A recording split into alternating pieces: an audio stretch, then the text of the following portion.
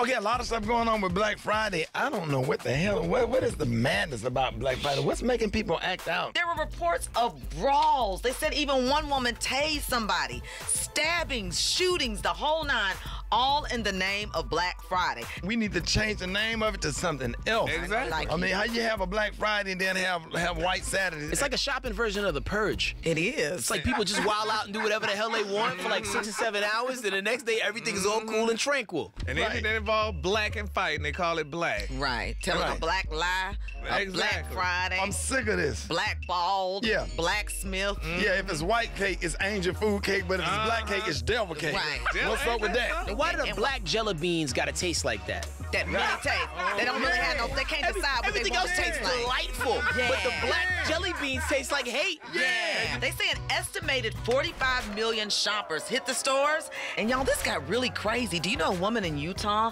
She got trampled in a crowd. Guess why they trampled her? Why? All over a $49 tablet.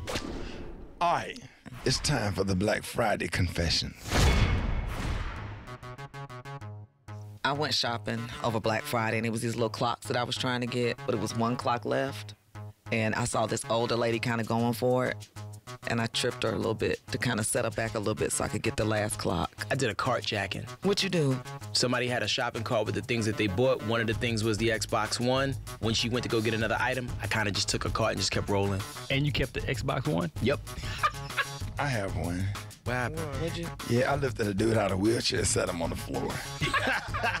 You rolled around. Black Friday? What, why'd you you weren't even shopping. You got tired of standing in line.